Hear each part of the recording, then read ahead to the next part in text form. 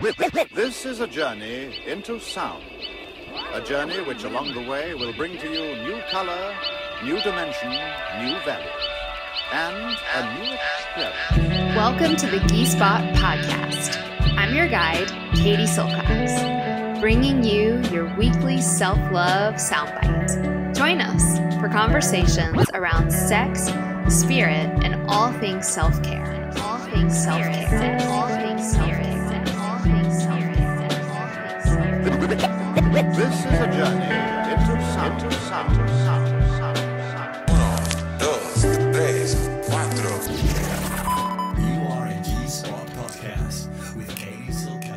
Hey beauties, welcome to the Ghee Spot. Today's show is brought to you by our new sponsor. I'm so excited about Banyan Botanicals working with us here at Shakti School. Today we are featuring Banyan's amazing Nasya oil.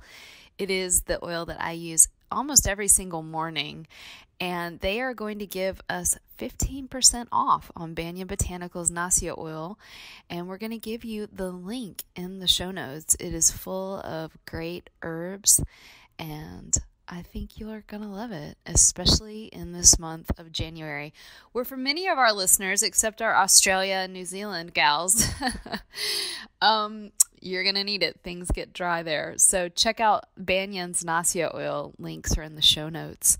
So, guys, today, hot topic Tantra Talks. We're back with one of my favorite things to talk about, which is Tantra which as many of you know what we do in ayurveda school is so much more than just classical ayurveda. We go very deeply into the spirituality and i really feel that that's incredibly important.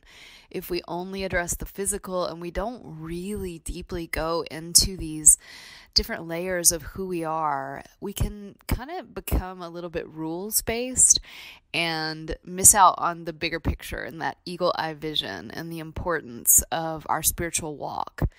And what I love about Tantra is that Tantra really holds in her arms all of the religious traditions. And so you can practice Tantra if you love Jesus.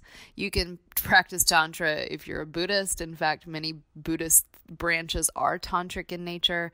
You can practice tantra if you don't even believe in God and you don't even like that word. There's room for you. And why that is is that it's so much more than a it, isn't actually a religious tradition in the sense of religion that we know it. Tantra is a religious tradition in the deepest meaning of that word religion, which is religio, which means guess what? It means to yoke uh, to to bring things together, to to connect, and it's the exact same word as the word yoga, which means to to join, to yoke. And that was a term from like horsemanship, like when you would yoke a cart to a horse. That thing, that hook that locked them together was called a yuj, which is where we get that root of the word yoga. And it's the same word as religio, it's a, a yoking. And you tie yourself to something and you're bound into something. And what is it that we're linking or we are bound to or we're attempting to reconnect with? and and that thing is the infinite that thing is what the native traditions called the great mystery and i love that word the great mystery those words really get to what it is, right? As soon as you think you know the divine, it shapeshifts. And as soon as you think your life is going, quote, right, you just get smacked in the face with a new experience that challenges everything you've ever known. And what I really want to say about Tantra this morning is that Tantra is that great expansion, that great expansion, but also that great rooting and grounding into the earth. One of my favorite definitions of Tantra is to expand safely. And to stand on my miniature soapbox for a second, just having been in the yoga and spirituality world for so, so long, one of the things that concerns me is this lack of knowledge. Really, I don't think it's coming from a negative place or a bad place. I think it's just a lack of knowledge that not all meditation forms are created equal. And um, especially when we're dealing with trauma, um, a lot of meditations can be super ungrounding and not exactly the medicine that people need. The reason is is that we need to have our feet firmly planted in the world. We need to have an ego before we learn practices that teach us how to merge into the infinite and dissolve the ego into the everything, right?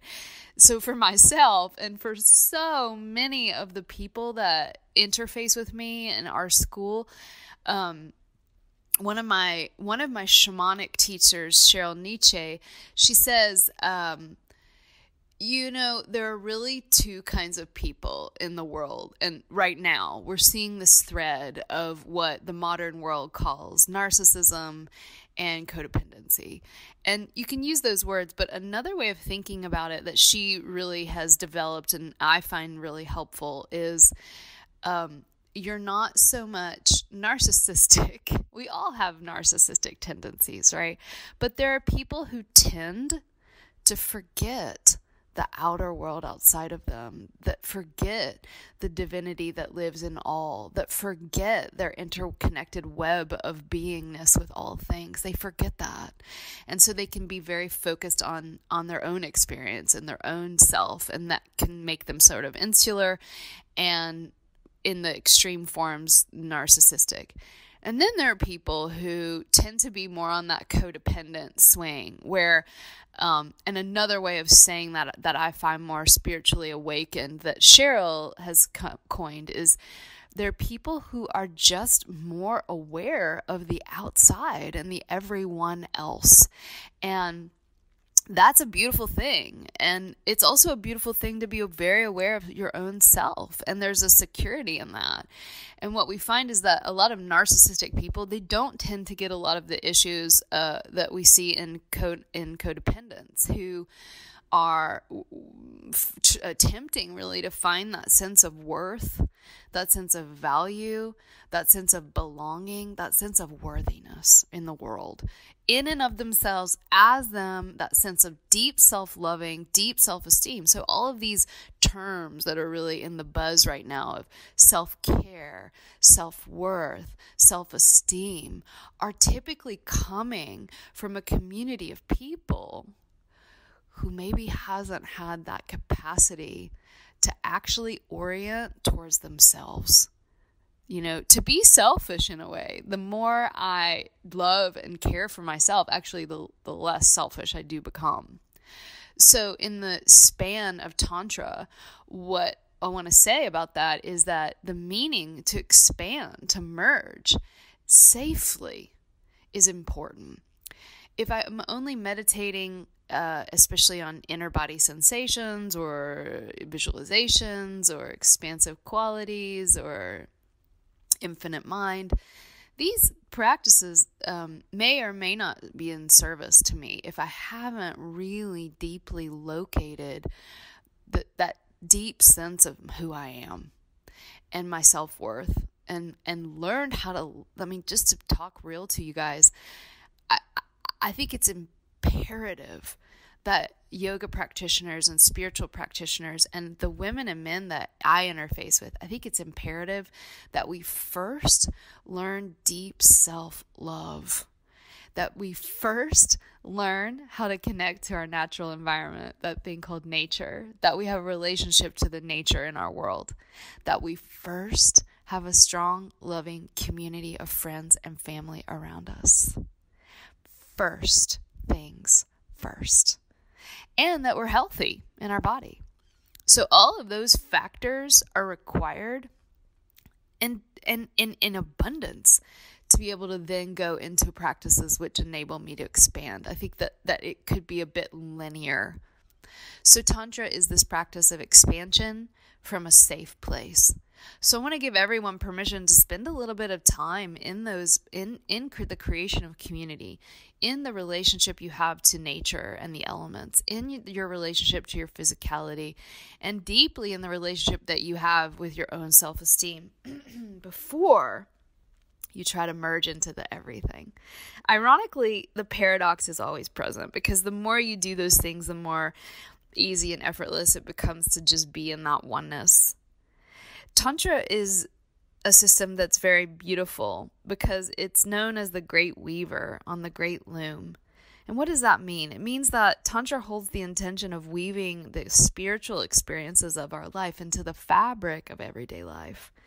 There's no separation, as we may find in some traditions, especially the more Judeo Christian ones, which at their essence don't have this, but over time have deleteriously developed a separation between body, soma, and psyche. Um, nature and divinity.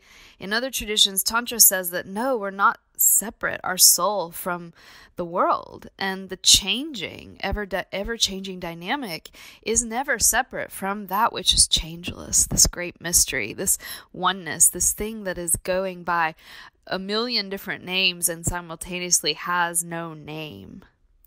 Tantra turns this whole idea of God as something separate from us on its head right? The changeless and the changing are in constant communication, interfacing with one another. And I can carry spiritual awareness and spiritual vibrancy and all of this awakeness into my everyday life and and knowing that it's going to change. And this, my beloveds, is how we can begin to celebrate life. A story comes to mind uh, from um, Richard Rohr and he's talking about there was actually a woman on his on his podcast speaking about how she was a new mother. And she had two very young children one child and a baby. And you could tell this woman was very bright and very um, spirit minded and she said that she she really like wanted to hold this intention of continuing to do her her meditation and her contemplation in the mornings even though she had these young babies. And so she said it was weird. It was almost like um, one one thing that I've been looking at and working with lately is this idea of synchronicity, right? And so she said it was it was this sort of synchronicity that you don't want, right? We all love the synchronicities that feel good, but what about the synchronicities that annoy us? And she said it would be like a joke, a cosmic joke, because every time she would just get in that meditation seat, the baby would start crying as if the baby had a sixth sense, right? Like, oh, mommy's meditating, and um, she she brought this, you know, trouble, this frustration that she was having to her teacher, and he said, "Oh, you know how wonderful." It is as if the spirit of Christ, right? This is what the the Christian tradition calls this Holy Mother, right? The Holy Pranashakti, this holy love, right? The Spirit of Christ. It's as if it knows that you're about to enter into meditation where you'll have this warm, loving gaze of the mother.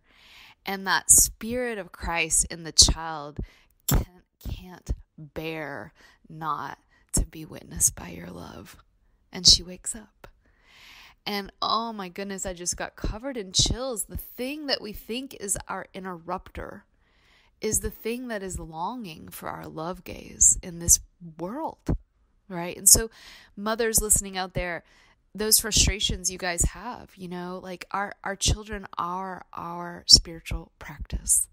And in the tantric tradition, that is one of the highest, if not the single highest, uh, incarnative experiences for a spiritual practitioner is to be the mother. So remember that that you're you're a maha yogini you're a big big time big time practitioner out there you mamas.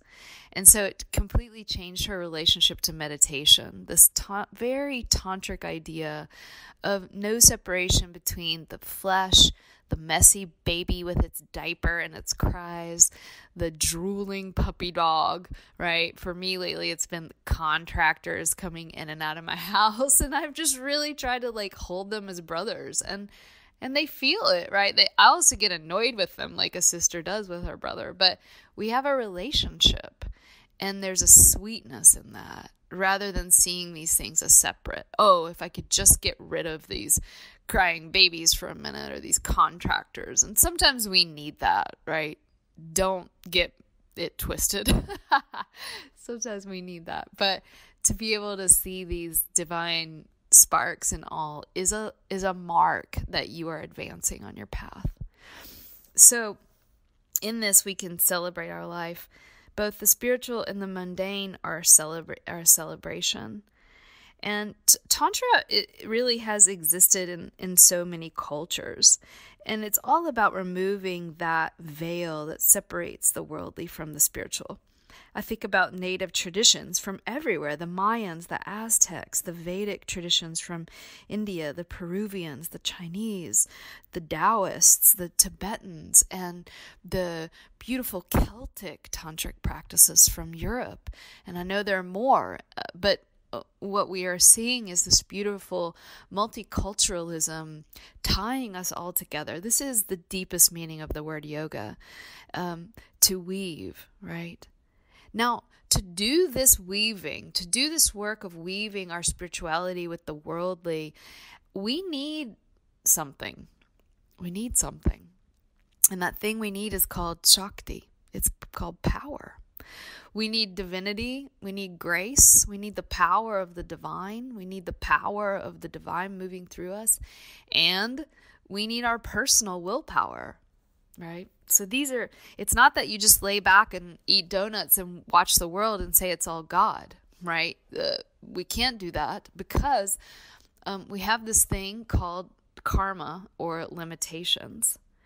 And so we need a certain amount of power. And that's where ayurveda comes in. And that's where what we've created here called ayurveda school that's what it's all about. It's about how can i as a human being make 2020 the most beautiful powerful dreamy year possible so that I can advance into this goal where every day can be this great mystery unfolding, this synchronistic, serendipitous love affair where I can see God in the baby diapers and the contractors and the job loss and you know the the death and the divorce and the sickness because my sisters it's gonna happen how can I keep my body vessel strong?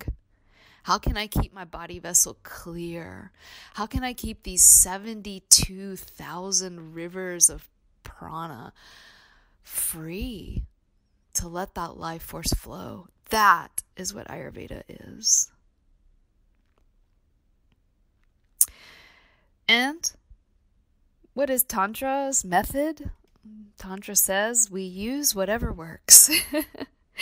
whatever it is that helps you to move out of your limitations. I, I went to this beautiful two day writing workshop in the in the in the in the nature here in Virginia. It was my my uh, nature club, my nature group, the Living Earth School, and we just sat around and and and we were you know prompted with these really beautiful, very tantric inquiries about what we wanted this year to be about, and um, one of my mentors, his name is Hub, Hub Not, the wily, beautiful, mischievous Hub. He said there are these things called push goals. And a push goal is if there was one thing that you could do to shift your life, it, it would it would be the kind of thing that would make every other goal in your life either happen or or make them a lot easier. And so tantra says the same thing. We have these limitations and we need a certain amount of life force enable to, to enable us to move beyond these limitations because here's the thing our limitations have their reasons. There's a reason we do the weird addictive things that we do, distractive things that we do, self-harming things that we do. You guys, there's a reason we do them. And, you know, think about your gut microbiome. I was speaking with my friend Valerie, who's a nurse over at UVA, and we were and we were talking about how your gut microbiome has desire that is not the desire of your head and your heart. it has its own desire, and those microbial organisms crave the foods that you've been feeding them. So if you've been feeding them sugar, and you've been feeding them processed junk, wheat, whatever, you know, kale, whatever it is that you've been feeding them, the gut will has created that environment that's going to ask for and desire more of that. And that may not be what your heart longs for. So, just on the physical level, there are operatives inside of you that may be against your love field, highest mother power force. And that's kind of freaky, but also really cool to feel like I'm not alone. I am a I am a microcosm of teeny tiny universes that are they're sometimes at war and sometimes in peace. So sometimes we have to push through and say to that microbiome, yo, sorry. This is to be uncomfortable, but that's not what we're doing anymore. So, Tantra, in this sense, is whatever helps me move beyond those limitations. Our elders saw that we could live in harmony with nature and be really, really supported in our spiritual goals. They saw our body as this altar. And so, just as we move into 2020, thinking about your body as an altar, what if you were going to do worship in your body as an altar? How would that change the way that we treated our body? So, my beloveds, there's so much more. I've got like six more pages. I'm not going to get to them. Good thing we have a podcast and we can keep going next month with our Tantra Talks. But what I want to say before we close is a couple of things. We've still got some spots left in Ayurveda school. It's filling up fast. You guys, it starts January 15th. That's coming up hot. I hope that you will join us where we will go into Ayurveda, working with Agni Vidya, the science of fire, herbology, astrology, the chakras, alchemy, spiritual alchemy, visualization, body yantra, where we go into the bone structure and realign these sacred physical yantras of the body, kundalini, vastu, Ayurveda for men, Ayurveda for children, so much more, even too much to list. That's why we need a whole year. Actually, we have a two year program. So I hope you'll join us. Now's the time after January 15th. We don't do it again for another year. So I hope you will join us. And I want to close with a note from our sponsor. We love them. It's Ahara Ghee. We have a beautiful link for their ghee in the show notes. You guys know this is the only ghee that I'm using right now. It is the best ghee on the planet, made in the traditional way from A2 cows that are so much loved and sustainably, lovingly, ethically made. So check out Ahara ghee. We've got a special link where you guys get a special discount with Ahara ghee just for using our link. So check that out. I know you guys are loving that ghee because we get your emails. I know. That's why we just keep loving that they want to be our sponsor because it really is really is special to have really um, powerful products that make the world a better place. So check that out. And I hope to see you guys soon in the classroom. Much love.